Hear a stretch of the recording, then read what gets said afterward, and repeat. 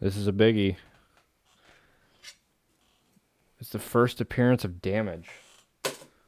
Who the fuck is Damage? I don't know. Uh, we're gonna go through Punisher War Journal. My man Jim Lee, who uh, I think everybody who has even read a comic book knows who Jim Lee is. And uh, why not look at his early stuff from Punisher War Journal? Punisher War Journal 8. I have this raggedy fucking copy. I think I'm the only person who has every issue of, Punisher War Journal. It's a great comic book series. I think more people should read it. You want to talk about a character that has so many great artists?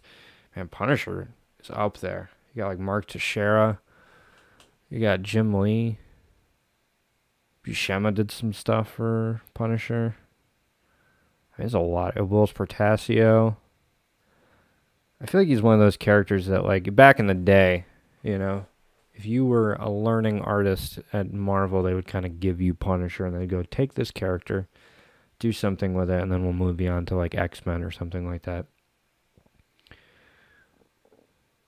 So I wanted to take a look at this early work by Jim Lee from Punisher War Journal. This is a raggedy copy. I have a nicer copy, uh, but I mean, there's like water damage on it. So but we're not here to look at my water damage. We're here to look at the comic. And right out of the gate, I'm going to say Jim Lee.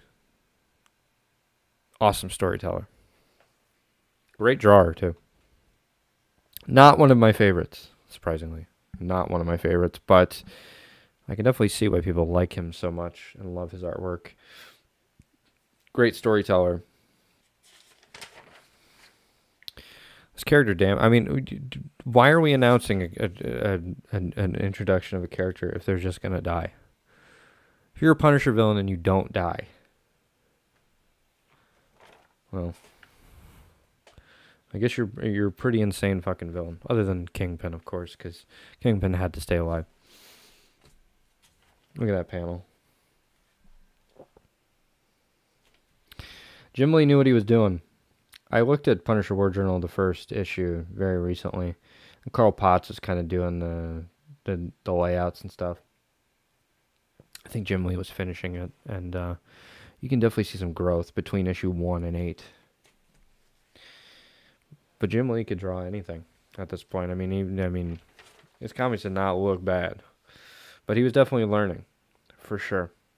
Again, I I like this channel because I kind of I like kind of showing the stuff off because I can kind of analyze the stuff that I have because I like looking at artists' early work and I mean I this is the earliest thing I can find by Jim Lee is Punisher War Journal. I know there's a couple things he did before. I believe I think he did Alpha Flight. I think Alpha Flight was his first comic, but I think this is like one of his earliest piece uh, earliest works. Draws a great Punisher, by the way. I know this is uh, not. Uh, I know six and seven of Punisher War Journal like the biggies that everybody like. Oh, you know, those are the definitive Jim Lee. But this is after it, so I thought I might as well do after it because everybody looks at six and seven.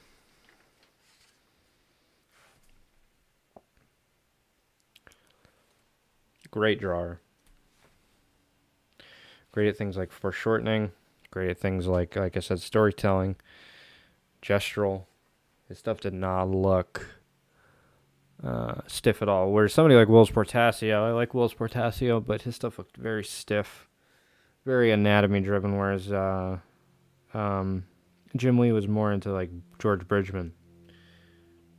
You know, more about form, kind of like J.R. J.R. was John Romita Jr. Drew great faces, by the way.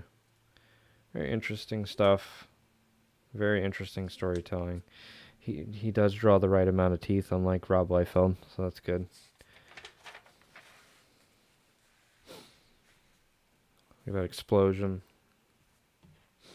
I'm not talking about the story, I'm just kind of focusing on the art and the creator. Uh, that is Jim Lee.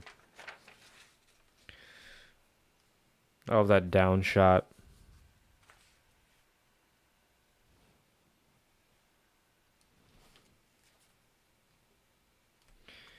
I mean, I love I love the way he handles gesture. Oh, that shading and that lighting. I mean, he had he had his he had everything down that you needed. Very early on. Very very early on, he had that on. He had that uh, he had that down. He had pretty much everything down. I mean, you you'll be I I I I I think it's very rare that you're gonna find. You know, a very poorly drawn Punisher. You know, or uh, Punisher. Very very uh, poorly poorly drawn uh, Jim Lee comic. I'm sure they exist, but because uh, I mean, you know, sometimes he got a little lazy when he, you know, when he was doing Wildcats and stuff like that for Image, because those guys were were making money hand over foot, and you know, they didn't really care about being on time technically. But uh, I love that. I love that uh, van. It's very odd. It's very odd shaped, but it works you can definitely tell he's, he's, again he's he's still learning at this point, but he's pretty much there. I mean, he's pretty much there. I mean, look at that. Absolutely amazing piece. I kind of wish that had been like a splash page. I think if this book had come out 2 years later, that would have been a splash page and it would have been amazing.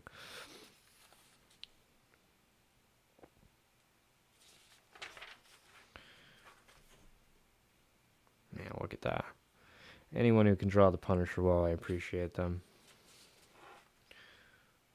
Because, I mean, I love the Punisher. I think Punisher is an extremely underrated character.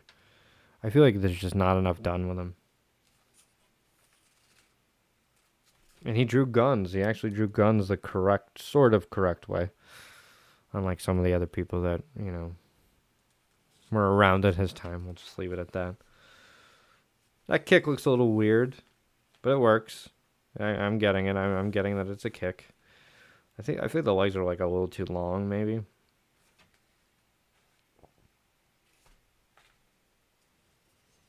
It's like I did. We don't want to give you kingpins. We're gonna kind of we're gonna give you somebody that's like kingpin. And that kick, that force that he's being kicked with, he's just going off panel. He's still on panel, but you definitely tell he's gonna be over here. Kicked him pretty hard. When you have the ability to do that, when you have the ability to kind of show that motion like that, like and, and that force pretty much got it down. I also I also just noticed this kind of going into that panel.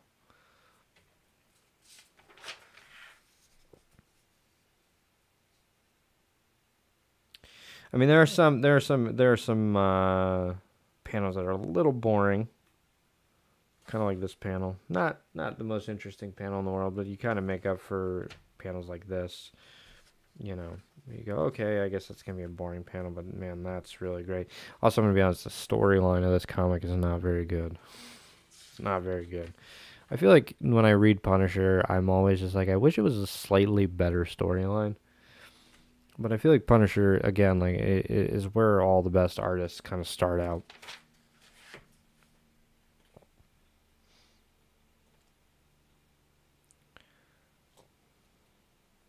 I love that panel.